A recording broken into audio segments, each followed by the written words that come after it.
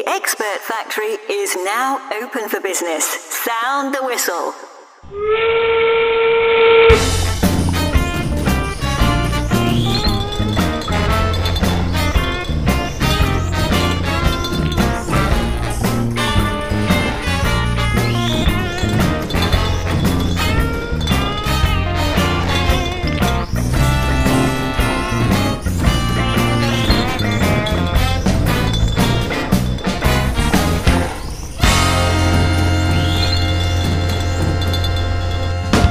Hey, everybody.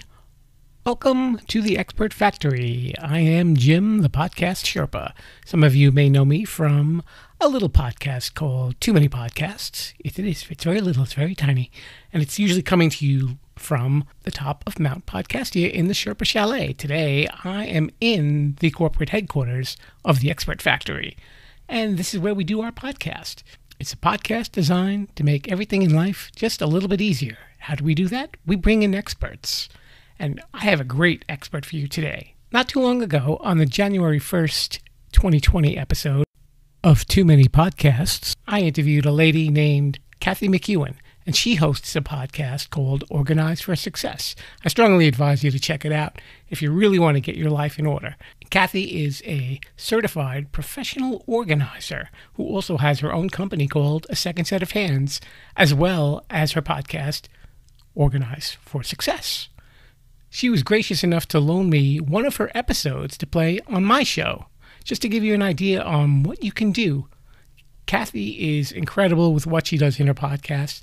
Everything she explains to you is very simple, not expensive, just breaks it down nice and easy for you to follow. Kathy was kind enough to loan me an episode of her podcast that had to do with organizing your closets and your clothes, which I know a lot of us have to deal with doing that, and it gets to be a little bit much sometimes, but I like her methods.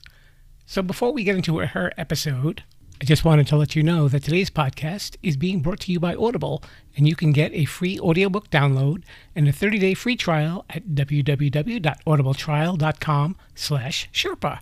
And there's over 180,000 titles that you can choose from for your iPhone, Android, Kindle, or MP3 player. We've got one more commercial for you, and then let's check out Kathy's episode of Organize for Success and how to organize your closets and your clothes. Hi there, I'm Kathy McEwan. I'm your host of the Organized for Success podcast, and today we are talking about clothes and closets, shoes, purses, and so let's get started. Do you ever open your closet and think, I have nothing to wear? I can't find anything. I have absolutely nothing to wear, even though there is a, no shortage of clothing, you know, shoes, accessories. Or do you ever go to your closet and yikes, it is such a mess and you don't know where to find what you're looking for? It is easy for us to let our bedroom closets get out of control and fill to the point of bursting. When our closet is unorganized and cluttered, we tend to always reach for the same clothes week in and week out and feel like we never have anything to wear.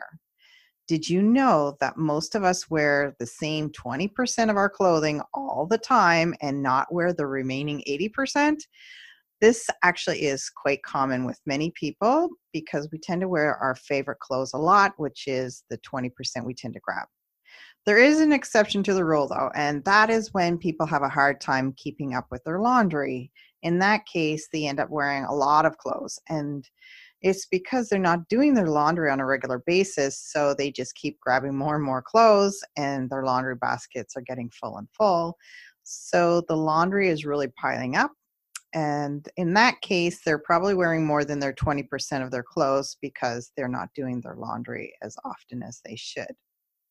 Okay so let's dive right into organizing clothes and closet tips the tips I'm going to be covering are actually simple and budget friendly ideas that will help to keep you organized. Okay, let's start with number one play dress up and keep only what you really need. So take some time to play dress up in your own closet and don't worry, you don't have to do it all in one day. Schedule time in your calendar. I don't know, maybe every Sunday morning for a couple of hours, whatever you want to do, but take time and try on every item well, almost every item, including all your accessories, your shoes, your belts, scarves, jewelry, etc. If it fits and you love it, either hang it back up or fold it and put it away. And I know what you're thinking. You're thinking, what? I have to try on every item? Well, if you wear some items regularly, then no, you do not have to try them on. So don't feel like you have to try on every single item. Those ones you wear all the time, those are the ones you tend to love and wear. So no, you don't have to wear them and try them on because we already know you love them. So that's okay. You don't have to try those ones on.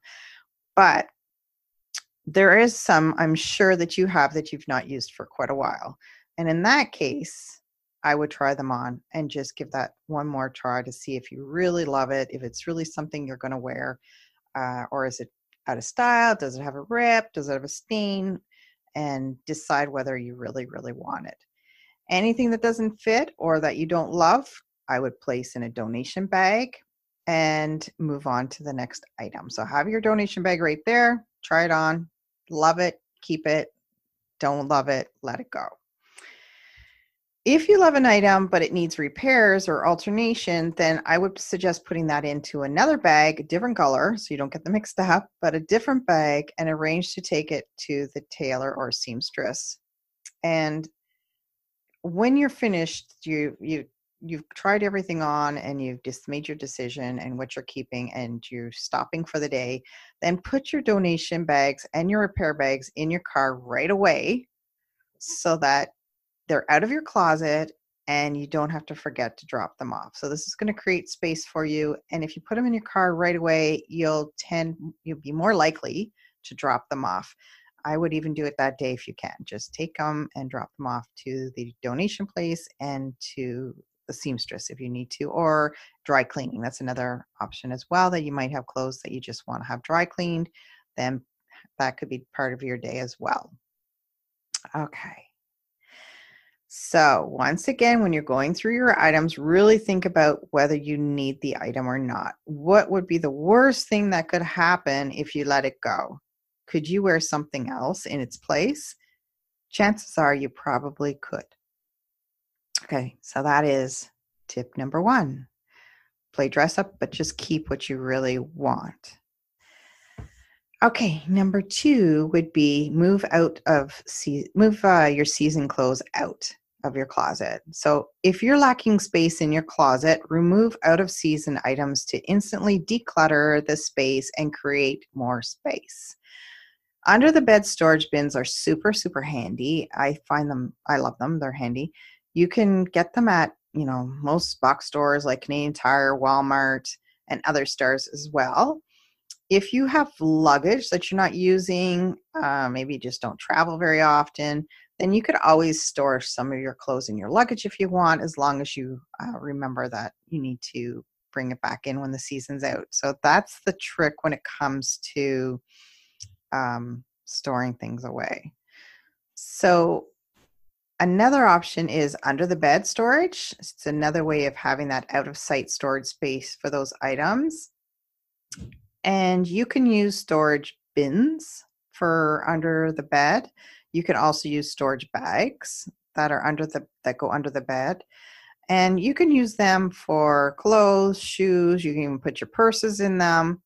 But one thing I, I kind of quickly just mentioned earlier is that you have to make sure to remember that they're there. And also, I would recommend that you get good quality ones. I have bought those bag ones before and they ripped. So I now know that it's better to invest in a better quality bag that goes under your bed for storage because sometimes you get those cheap ones you know the dollar stores they can rip i at least that's my experience you may have had better luck for for me, the cheaper ones have ripped. When I just go to pull them out, they start to rip. So uh, I recommend just spending a little bit extra money and getting a better quality one. And then, like I mentioned, try not to forget they're in there. So I would not put anything in there that you use on a regular basis um, because you may forget about them under there. Sometimes people do out of sight, out of mind, and they'll forget. So if you're thinking of storing shoes that you just don't wear very often under there, if you still don't wear them and you haven't pulled them out for a year or so, then you know it's time to let those ones go.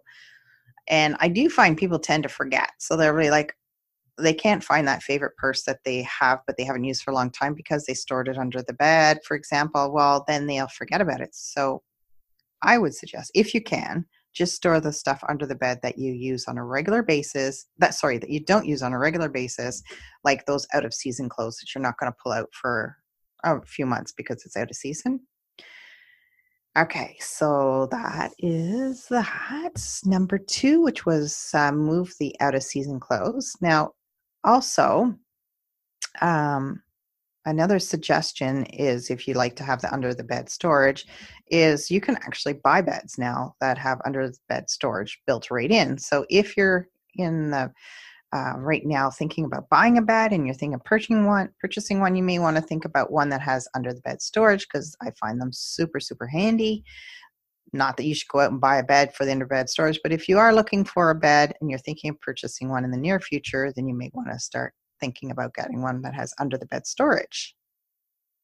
If you don't have a separate area for out of season clothes, and you have to keep it in your closet, then that's fine. We suggest that you put those items kind of to the side, uh, maybe at the end of the closet, so they don't get mixed up with your current season's clothes. So as long as you're separating winter from summer clothes, for example, if you live where I do, where it's freezing cold in the winter, we need whirly sweaters, and then it's really warm in the summer. Those clothes, if you separate them, uh, then it's a little easier. So if you have to keep it in your closet, by all means do so but try to separate them so you're not digging through all of the clothes. You're just digging through the clothes that you need for that season. Okay. So that's number two. Number three is sort by category and color. And we hate to state the obvious, but doing this will go a long way to making your closet an organized space. Hang your dresses together, your pants together, your shirts together, etc. It will save time each day and will make it so much easier to find your favorite shirt or jeans or pants, etc. If you want to take it up a level, then organize each type of clothing by color within its category. Now, what I usually do is when we're working with clients, um, or at least my staff does, we often hang things short on the left, and then as they get longer, it goes more to the right.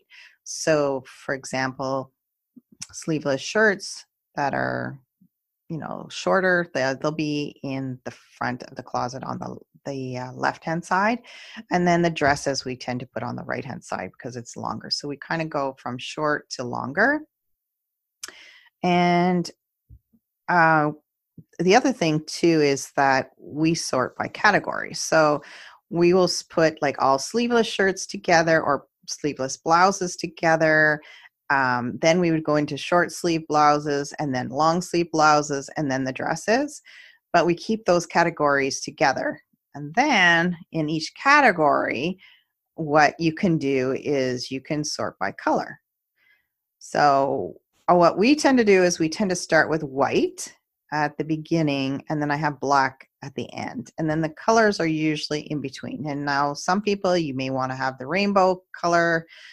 And in that category you could do that like those say you're doing i don't know like just take for example we're doing long sleeve shirts then you know you may have your white blouses at the beginning and then you might have your colored in the middle and some people it doesn't matter to them what colors in what order other people want the rainbow effect which is fine it really depends on what you're looking for and what you want to do and if it's overwhelming for you to do it that way, then I wouldn't even worry about it. Just have them in the same category and try to have them in the same color, which helps. You don't necessarily have to have it a certain color every single time in an order.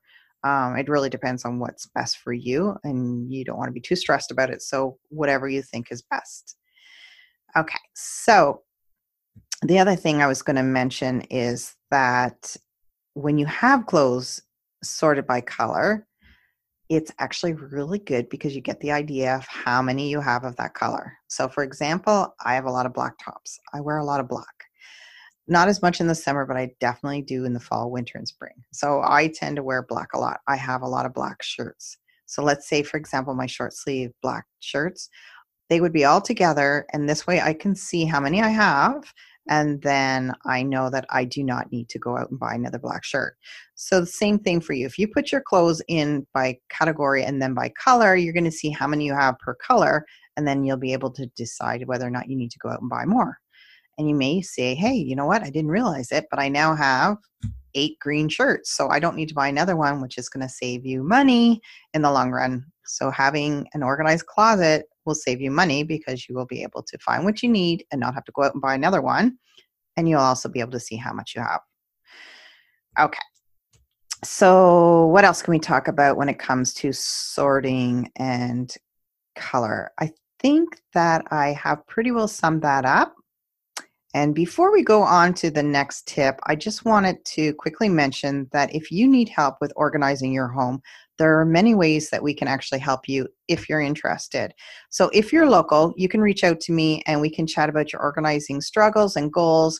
And if you're interested, we will schedule a time for our organizers to come to your home and help you get your home organized. So, that's if you're local. If you're not local, not to worry. And when I say local, we're in actually Ottawa, Ontario, Canada. If you're not local, not to worry because I personally work with clients all over the place and who are not local, and we, um, chat by Zoom or whatever we can so that uh, we're still able to communicate and see each other, and I can see what you're working on. And um, I actually have a new program coming out in January 22, 2020 and I'm super excited about that one. That program is for those who want more of the coaching style approach where you can chat with me and I will provide the tips and suggestions that you need to have an organized home.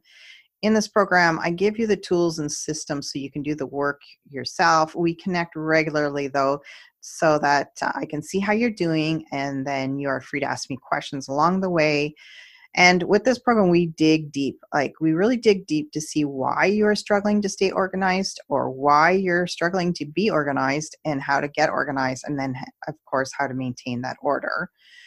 So, it's really about simplifying your life and creating less stress. And I promise you, you will feel amazing when you have a more organized home and simplified life. And that is the new program that's starting in 2020 for those that are not local.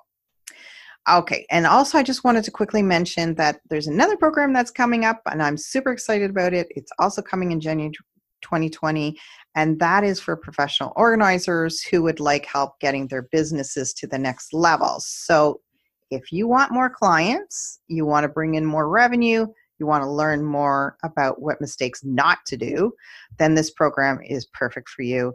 And so that's super exciting. That's two new programs that are coming up January 2020. It's going to be a great year. If you would like more information on any of those programs or other organizing sessions that we provide, please feel free to reach out to me via our contact form on our websites, and I will share a link to that in the show notes.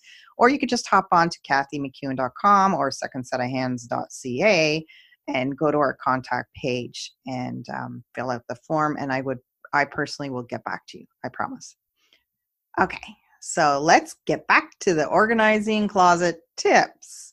So, number four is turn your hangers around. Okay, so you may have heard this before, but if you've put in all the work to sort through your clothing and you kept things you love, now let's make sure you wear them. So, turn all your clothes hangers backwards, and after you wear an item, and you can hang it back up the right way. So, you just keep it backwards until you actually wear it.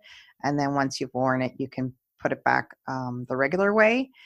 And uh, try to make yourself select clothes each day from a hanger that hasn't been turned around yet. So if it hasn't been turned around, maybe try it and see if you like it.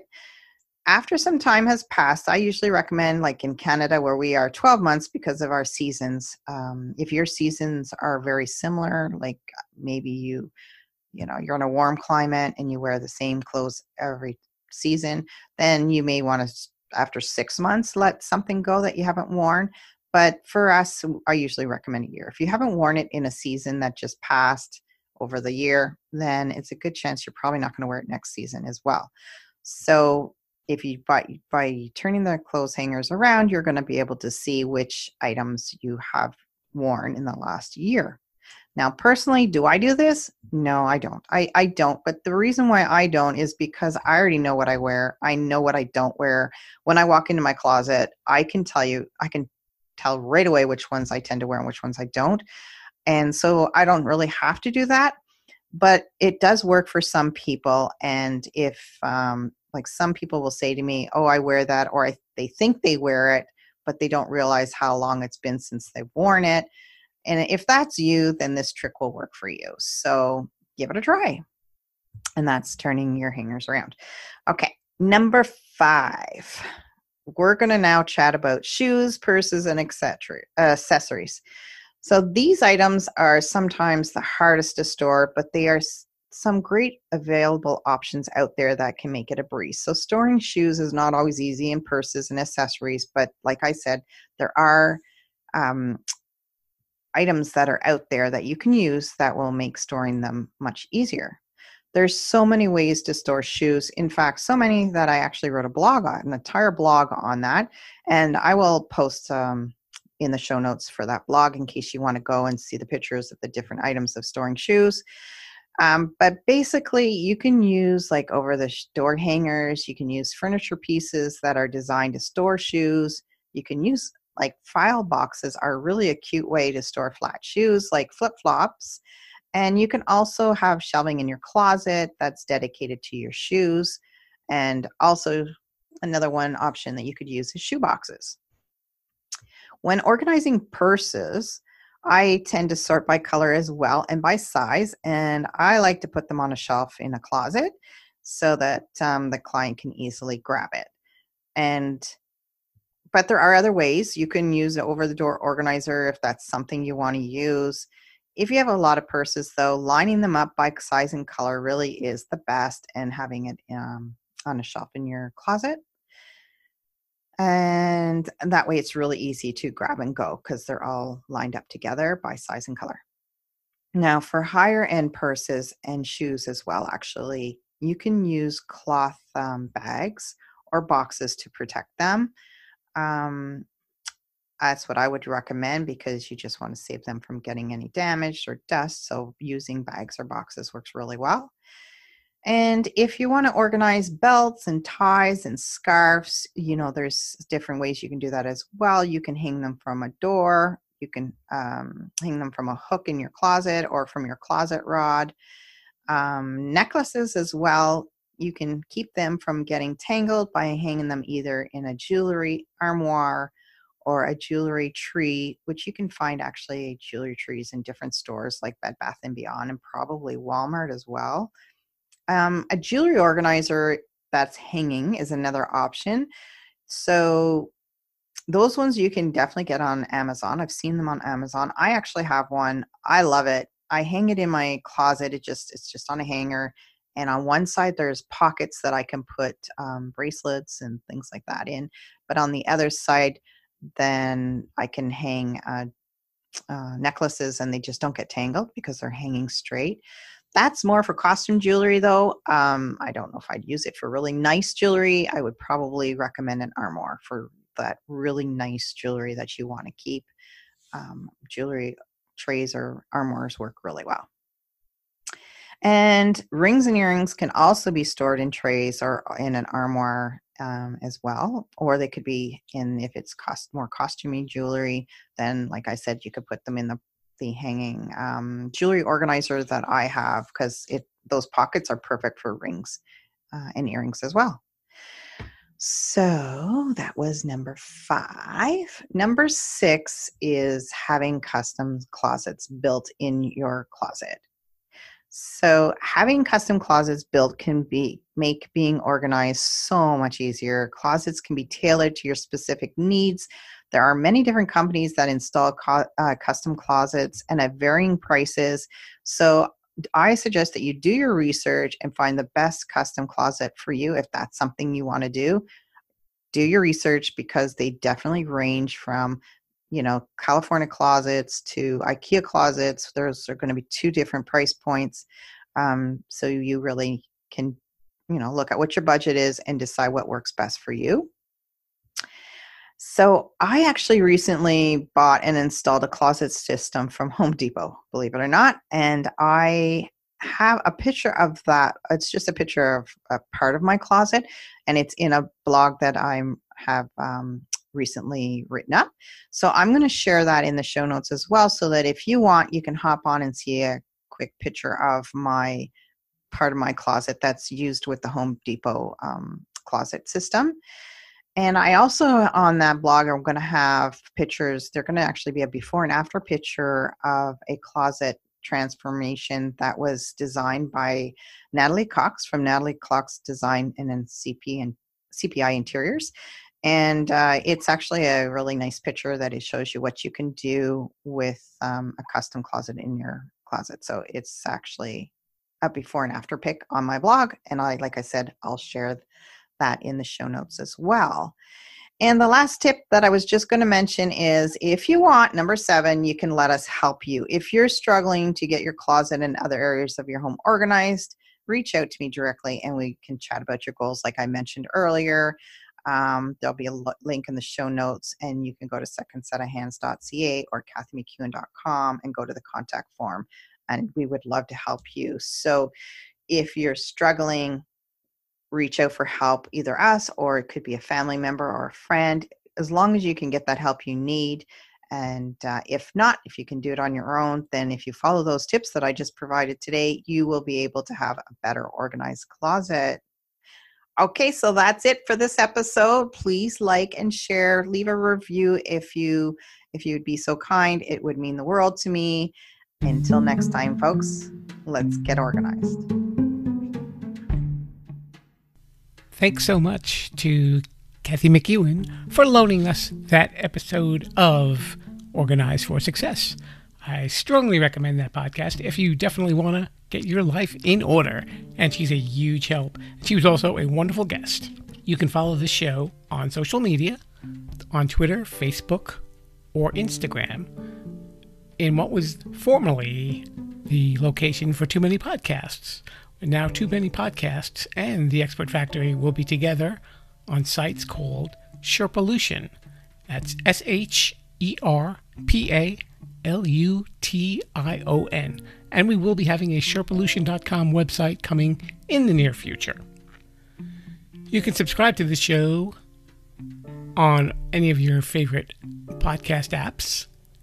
And this way you'll always know when there's a new episode coming, and that will be every Thursday. If you want to check out Too Many Podcasts, that will be every Wednesday if you'd like to subscribe to that as well. And I'm hosting both of them, so if this voice gets to be a little too familiar, at least you'll understand why. Also, if you're an expert or you have a request for a show, you can email me at jimthepodcastsherpa at gmail.com. Next time, we will have a visit from Courtney Frazer and she hosts the podcast The Courtney Show, and her episode will be about setting up an emergency fund. Definitely one of those things that you need to learn how to do, right? So until the meantime, oh, wait a minute, wait. I think there's going to be an announcement on the PA system. The podcast is now over. Please disperse. Viva la Sherpalution!